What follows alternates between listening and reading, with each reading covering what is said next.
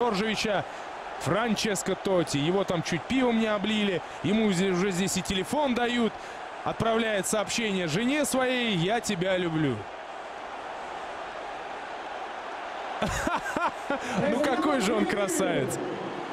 Ну какой же красавец. И уверен, что даже желтую не получит.